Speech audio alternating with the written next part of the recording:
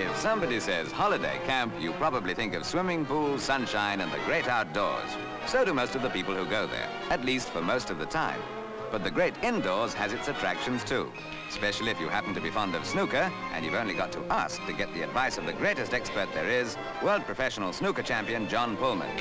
That may sound awe-inspiring, but there's no side about John. He's only too glad to give ordinary chaps all the help he can. Besides, if he kept to players of his own standard, he'd only have a couple of people to talk to in the world.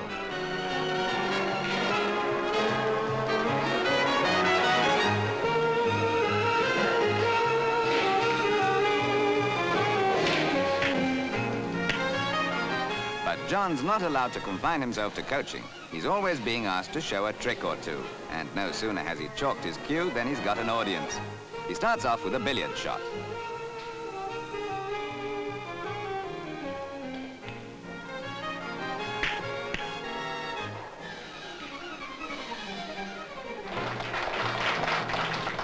Actually, John says that was too easy. How about a few more obstacles?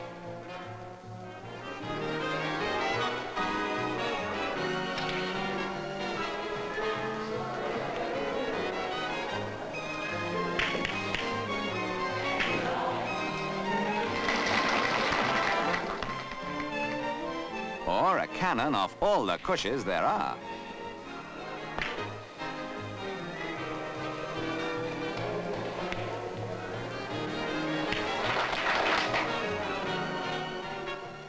Sometimes he doesn't even bother to look.